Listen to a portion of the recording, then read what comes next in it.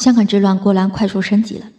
香港警方与暴徒在香港中文大学形成对峙，双方进行了你来我往的赶战。暴徒向警察投掷燃烧弹、砖头等，校园里很多地方燃起了熊熊大火。很显然，这一对抗已经完全的超出了正常的维持秩序的范畴。可以毫不夸张地说，香港已经进入了最危险的时刻。那么，我们不禁要问：这些暴徒为什么选择在了香港中文大学与港警对峙？这种暴乱接下来又如何演绎呢？在我看来，根本原因有三：一，大学一直是暴徒们的庇护所。很多人或许并不清楚，香港的大学可以是香港暴乱分子的庇护所，因为这些暴徒大多还是大学生，当然也基本都来自这些大学。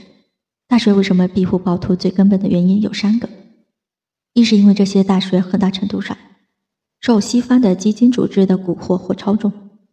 长期受西方影响，这些人的心理，他们很大程度上不认为学生是在搞暴乱，而是在表达意见。所以，以大学的心理上来说，他们认为警方和干部应该容忍学生表达诉求，甚至一定程度的暴力。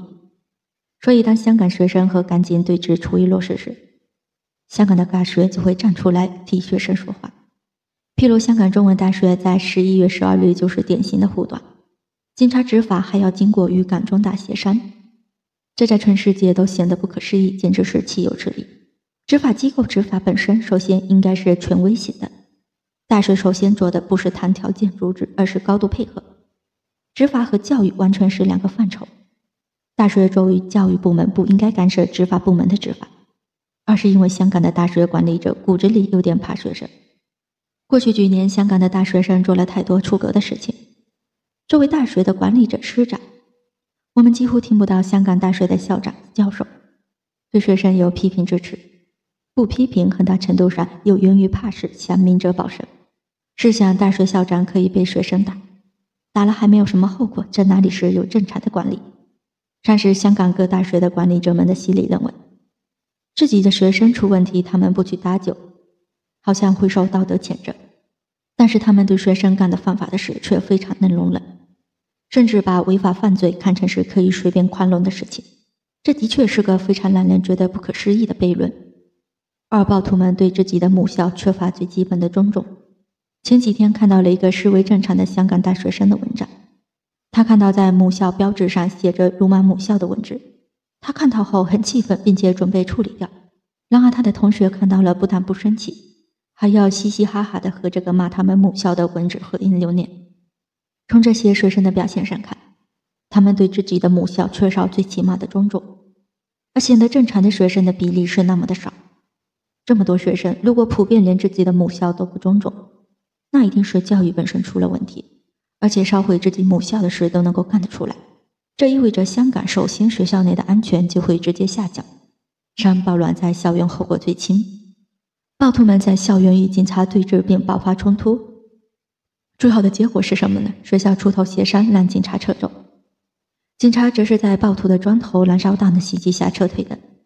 暴徒呢，实际上并未得到惩治，甚至根本不必为此负责。学生会一边使用这个挡箭牌，一边升级暴力。暴乱无疑正在向深层演化，种种迹象表明，暴乱正在走向恐怖主义。那么接下来会如何演绎呢？在我看来，接下来香港暴乱将会呈现四大特点。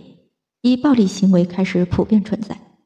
之前虽然暴力行为也时有出现，但相对来说普遍性整体依然较低。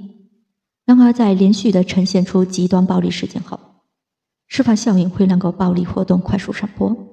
譬如十一月十一日，香港理工大学出现了纵火暴乱；十一月十二日，港中大的暴力行为明显有进一步扩散的架势。而暴力方式将增加。如果大家注意观察。暴徒采取的暴力方式正在增加，譬如十一月十一日有在香港理工大学纵火的，有夺枪的，针对市民进行暴力袭击的，这些行为明显手段和方式有恶化并增加的趋势，让暴力事件将更加极端。从过去两天暴力事件呈现的状态看，暴徒呈现出来的状态明显有极端化趋势，明显体现出了参与者的极端化趋势。如果接下来有时间干出了更多极端的事，这会引出更大的极端化袭击漩涡，使暴力事件呈现出明显的无序性。香港暴乱明显有一种无序性在里面。虽然暴乱升级看起来有明显策划推动的痕迹，但暴力明显呈现出了一种无序性，不是提前完全确定的剧本，更多的是源于个人的一种选择。直白说，就是暴乱升级背后有很明显的资金支持加大力度的迹象。这意味着，只要资金来源不被切断，这个加力在未来必然还会进一步提升。在金钱刺激下，暴力所呈现的无序性升级，会让这种群蛮性活动特征加强明显。坦率说，香港现在已经到了一个最危险的时刻。原因很简单，上述的暴力所呈现出来的特点，意味着按这个趋势发展，暴力将向市民生活渗透。譬如，暴徒直接袭击地铁等公共设施，直接针对市民进行暴力袭击的。过其暴力活动与香港市民的生活较远。香港市民完全可以事不关己、高高挂起的状态。然而，当极端暴力呈现出上述的特征后，暴力活动将直接的影响到市民的生活。譬如，针对市民进行暴力袭击的，他们仅仅是说了一句“我们都是中国人”，暴力就瞬间爆发，并产生了严重后果。然而，出现严重后果后，惩治并未跟上，迄今行凶的暴徒依然没有音信。若按照如此节奏发展，香港市民未来受到如此袭击的事件必然快速增加，香港整体社会环境的不安全感会迅速的上升。更加深层次的问题是，持续的暴力袭击会让整个社会经济发展陷入衰退，会让整个社会的运行成本大幅增加，最后背后支持暴力的资金所带来的好处，会远远的低于所带来的毁坏，那么矛盾就走向了激化。如果接下来依然没有力量可以遏制这种趋势，香港内部的矛盾会进一步激化，社会冲突会进一步加剧，暴力事件将普遍反噬香港社会，这给香港社会所带来的负面影响，将是我们现在无法想象的。就经济层面而言，很多事情都是完全不可逆的。譬如内地出台的香港市民在大湾区无门槛的购房的政策，将直接重创香港楼市，它给香港房地产行业所带来的形象。将是永远无法重新回到政策发布前，而是越往后影响越深远。因此，在香港问题上，未来很多人都将是搬起石头砸自己的脚的局面。谁在默许暴力，谁就将为自己的默许付出代价。香港到了最危险的时刻，承受危险的还是香港自己。现在香港的局势对香港所造成的伤害已铸成且不可逆，未来哪怕伤好了，伤疤也会永远的留下来。换句话说，今天暴徒所做的孽，要整个香港一起来还，甚至都不知道要还多少年。还台之瓜何堪再摘？还台之瓜已被摘光。